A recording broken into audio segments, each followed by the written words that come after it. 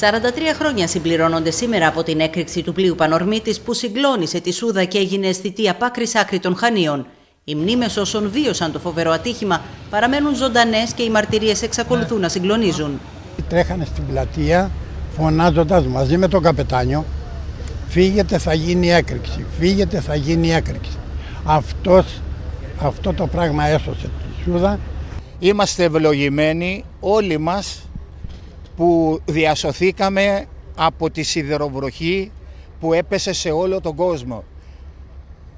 Ένα πλοίο το οποίο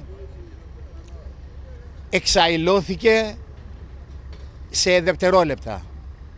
Ένα καράβι καίγεται, μου πει μάνα μου. Το πλοίο που ήταν δεμένο στην προβλήτα μπροστά από την κεντρική πλατεία και είχε στα αμπάρια του 500 φιάλες με υγραέριο, κυβότια με δυναμίτιδα και βαρέλια γεμάτα βενζίνη, εξεράγει στις 9 το πρωί. Ένας άνθρωπος έχασε τη ζωή του και 138 τραυματίστηκαν, από τους οποίους οι τρεις ακροτηριάστηκαν.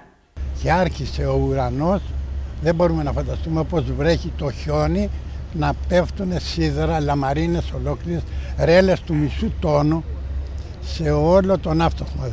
Δεν είχαμε βγει ακόμα έξω να δούμε την καταστροφή. Από την ισχύ της έκρηξης, το πλοίο κυριολεκτικά εξαφανίστηκε και τμήματά του βρέθηκαν εκατοντάδες μέτρα μακριά, ενώ το φορτίο του εκτοξεύθηκε σε ακτίνα τριών χιλιόμετρων, καταστρέφοντας σπίτια, καταστήματα, αυτοκίνητα και δημόσιες υποδομές. Το κάψιμο από το θερμικό κύμα ήταν τόσο έντονο, που είναι και αυτό που μου γλίτωσε τη ζωή. Το στενάκι επάνω πανεβαίνει είναι η γάμα Σεπτεμβρίου. Μαζί με αυτό που έτρεχα εγώ, φεύγανε πέτρες, κεραμίδια, παράθυρα, καφάσια, τελάρα και ό,τι οικοδομικό υλικό υπήρχε από τα γύρω κτίρια. Η έκρηξη του Πανορμίτη χαρακτηρίζεται ως το μοναδικό ατύχημα στον ελλαδικό χώρο που συνέβη σε κατοικημένη περιοχή σε καιρό ειρήνης με τέτοιο τραγικό απολογισμό. Η μπίντα, η δέστρα δηλαδή του πλοίου, βρέθηκε στον Άγιο Παντελεήμονα το εκκλησάκι που είναι πάνω εκεί γύρω στα 3,5 χιλιόμετρα. Το κατάρτι του πλοίου έπεσε μέσα στο σπίτι των Ριγάκηδων που είναι ε, στο παλιό ανθοπολείο εδώ στη Σούδα.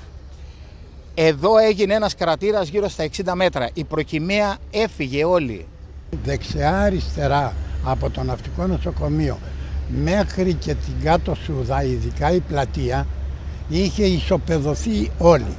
Η πλατεία από τα αντικείμενα δεν μπορούσε να πατήσεις.